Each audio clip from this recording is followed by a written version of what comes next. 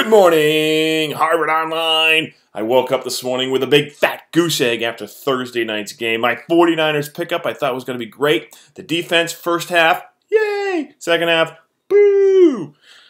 Zero points. And then I didn't even start Larry Fitzgerald, who got me 20. Are you kidding me? But still a chance to be 5 0. Yes!